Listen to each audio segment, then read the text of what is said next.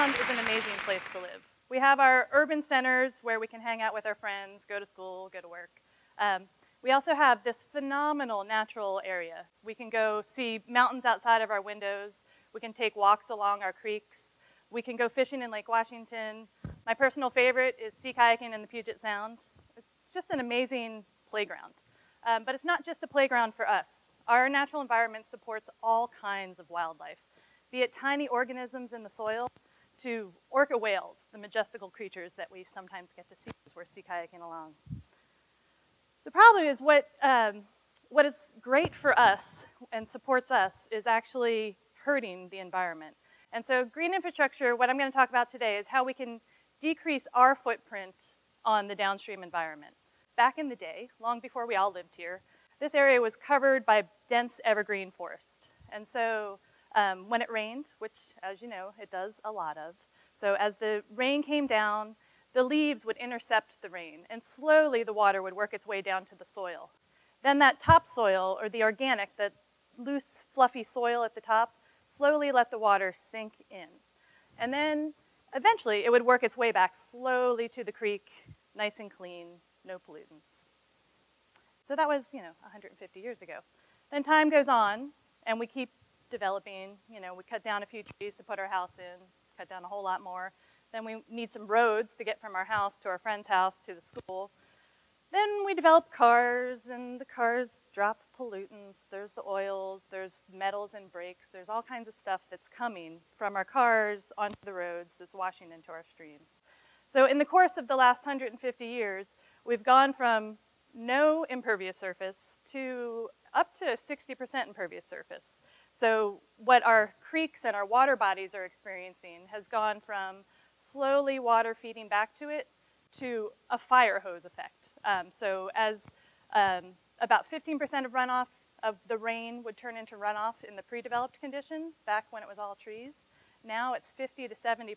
So every time it rains, that water is rushing down to our creeks. And that has a variety of problems that comes with it. Um, the pollutants, like I mentioned, um, th those oils, it just washes off every time it rains. And you know, we've always thought there's a bit of a problem with that, with um, the organisms living in the creeks and in the sounds. You know, what, what are those impacts on, on the fish, for example?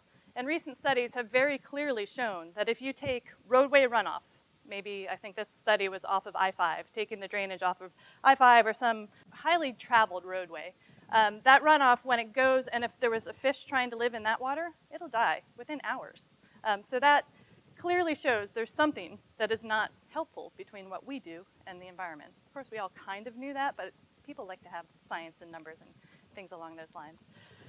Also, the thing that we do notice um, frequently, just every time it rains, is it gets kind of hard to travel from one place to another. If it's downpouring, um, sometimes the roadways are hard to travel through, great big puddles that block your way from your house to your, um, to your school or any other place you're trying to get to.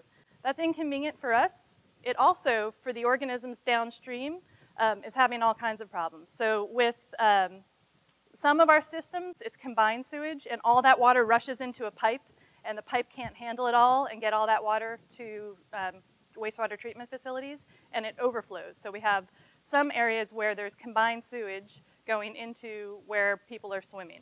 Um, then there's also the impacts on the creek. So um, for example, a flow that a creek would see maybe only once a year is now five times higher than it used to be. So that's kind of like a fire hose blasting at the fish. Um, so as it's trying to swim upstream or it made a nice little nest where it has its eggs, the redds, um, it gets blasted out every time it rains. So that's the problem. The other part of the problem is that, or trying to figure out how to do a solution, is that our systems are all complicated and there's a network of pipes underground and they all behave a little bit differently. So part of the steps of trying to solve the problem is knowing what, what impacts are happening in which places. And for the city of Seattle, we have about a third of the watershed where every time it rains, it goes straight to the sound. Um, so, or it goes from those rooftops and roadways to a creek and then to the sound or to the Lake Washington. We have other areas where it combine, does that combined sewage thing, where the same pipe system takes the water from when you flush your toilet as when, when it rains. And so that's called combined, combined um, sewer drainage systems. in the separated area, we have about, think it's 15, it's on the slide, but I think it's 15 billion gallons of runoff that enters our receiving water bodies, Lake Washington, Puget Sound, um, over the course of the year.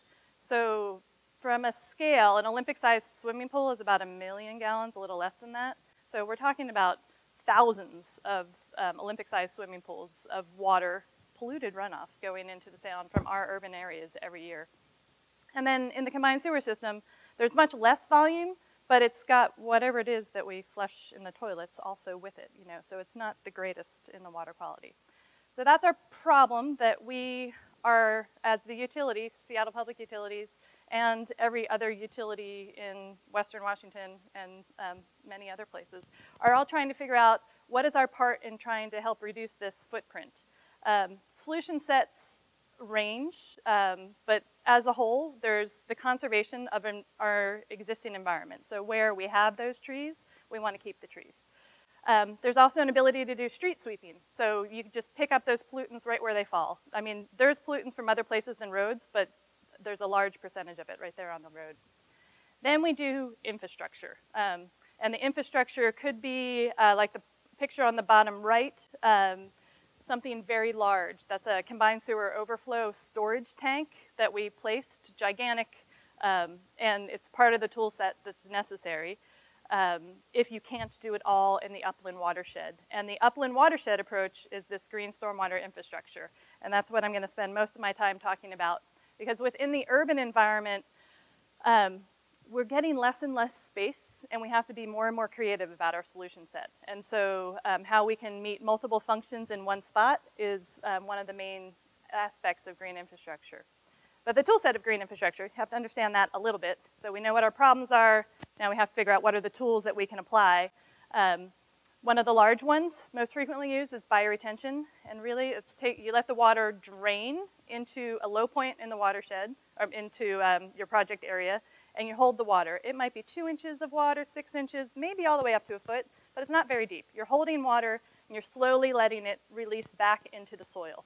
Um, and that slowly reduces the total volume of water. It also cleans it. You take that polluted runoff off of I-5, you send it through bioretention soil, and the fish can swim in it and stay alive. So it's, it's a treatment as well as a slowing down of the soil. Sorry, slowing down of the water.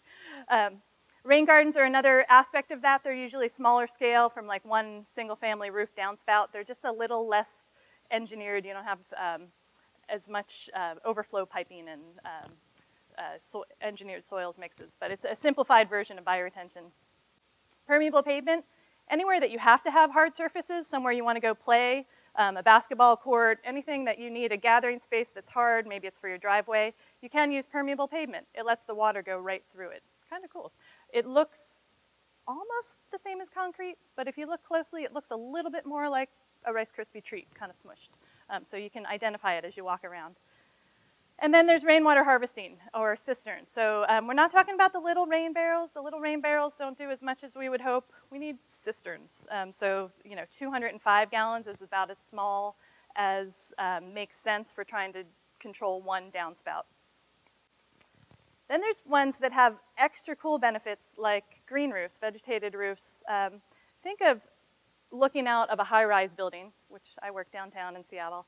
If what I looked outside on was a bunch of green roofs, it would just be more pleasant, right? I don't like all that um, just gray uh, rooftop kind of material. Um, and same with birds. So like as migratory habitat, having a green roof has this other value that there's other people using it. So there's that aesthetic and it slows water down. So from the stormwater standpoint, it helps in the stormwater side of things. And of course, trees. Trees are good for all of us for all kinds of reasons, but again, that natural environment that was here before we got here. And finally, soil. Um, our development patterns, when we clear an area of all that nice topsoil that used to be here before um, development, we basically turn our lawns to function a lot like concrete. And so unless we do something to loosen it up, compost amend it, where, our lawn area is basically functioning like impervious area. So that's a bit about the toolbox, but then the toolbox you have to apply. And you have to figure out where could I put it, right? Like so you've got your big gigantic detention system, that can only happen at the end of a basin. But these green infrastructure suites can apply all kinds of different locations. So it could be um, on a single family scale, like just at the residence, you know, just at a point of one roof, one house downspout, you can put in your cisterns or your rain gardens. You can have your single family driveway be permeable. You can also have that same suite of tools on a commercial scale, so it's just like a lot bigger, or at a school scale. Um, so it's the same tools, but they have a different look and shape and size. Um, also within each tool, like with us in the city, when we do large retrofit, we're um, looking in the city right-of-way a lot because almost a third of the city land mass is right-of-way. And so we have an ability to make a lot of change there. Those bioretention systems could be handling just that road, so we can have just a small amount of bioretention per block, or it could be having hundreds of acres flow through. We just put a project in um, over by REI, uh, South Lake Union area part of town. That's the bottom right picture. That's a bio, bioretention and biofiltration system. The water moves through there. It has hundreds of acres flowing through there before that water dumps into South Lake Union. So before you're, the, which is where there's lots of kayaking and um, paddleboarding and what have you. So um, lots of different ways to apply the tools. Then it's back to the complication of it. It sounds somewhat easy, right? It's like all kinds of different tools, all kinds of different sizes, but then you get to the fact that you are where there's lots of other people and lots of uses of that space. So in the right-of-way, you know, we're trying to fit in bike lanes, we're trying to fit in pedestrian walking routes, there's that whole mobility of the car thing that we have to figure out. Um, so there's this balance between parking and bioretention and people, and um, so how do you fit it all in? And that's where it gets extra complex. But this picture here is an example of, of one way to fit it all in. And so you've got permeable pavement under where people are parking, um, so you still have that parking space. And then you have um, an ability to make the roadway crossings smaller, shorter for pedestrians um, by putting the bioretention kind of near the curb bulb. Um, and so you're just, you know, you're using your different tools as you can uh, within the space and trying to manage as much impervious surface within that area. And we like to think of it as just smarter technology. You know, we used to have single use. We used to have pipes. The pipe's job was to get the water from the impervious surface quickly and as um, efficiently away elsewhere. And now we need our conveyance systems to do more than just get it away. We need to slow it down, we need to treat it.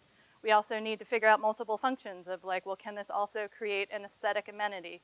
Can it also create habitat for birds? And so um, the Green Infrastructure Suite is trying to figure out all those multiple uses and how to piece it together. And it's hard. Um, it's super hard. And so we went to our management to say, this is taking a lot of staff time to try to figure out. It's expensive to try to retrofit, retrofit an urban area. Do you want us to do this?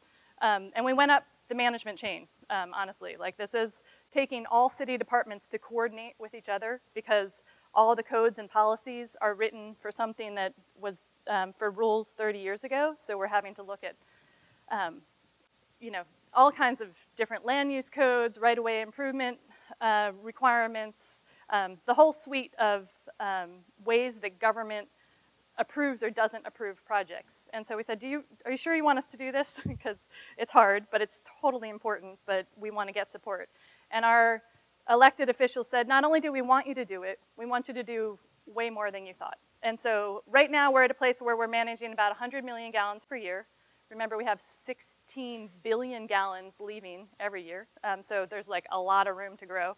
Um, and so they set us on a trajectory to like, how can you really push yourselves to do as much as possible?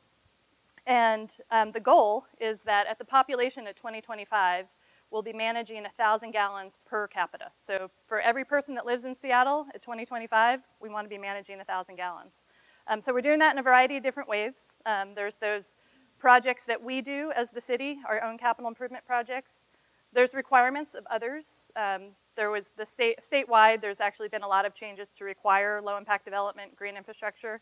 Um, and so those tools will help as new development happens. But then there's all that development that's been there for years. And so we're looking at incentives to help encourage people, either financial incentives or also just um, assistance in helping work through the regulatory process. So we have a target, um, and it's, um, it's definitely a stretch target. It's going to be hard for us to hit it. Um, again, as we're looking at how do we apply those tools, we're taking Uh, the bioretention suite, so when we're in areas that have water quality is the primary goal, um, so all those areas that go straight to, the, to Lake Washington or the Sound, we're looking at water quality treatment approaches. And then areas where there's also a need for slowing the water down, be it in the combined sewer system or anything that goes to a creek watershed or anything that goes to where there's flooding downstream. There's where we're trying to look at slowing down the water. And um, in some parts of the city, we've already um, put into place a um, incentive. So it's called RainWise, and King County offers this as well within the city of Seattle.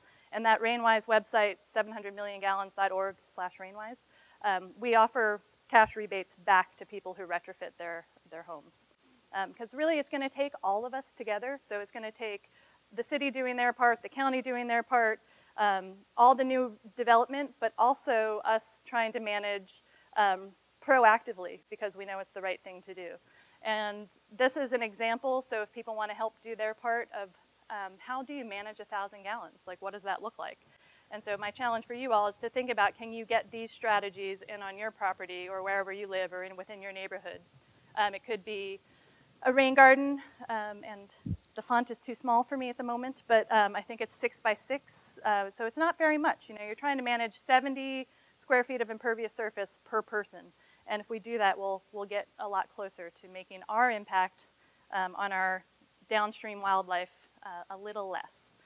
Um, so as a whole, you know, we're trying to take all that water and instead of quickly sending it downstream and having those impacts of flooding the creeks and actually having big impacts also on um, humans and their mobility, to holding it back distributed within the watershed. And that is our charge. And we would like as much help uh, as anyone is willing to give us. Thank you.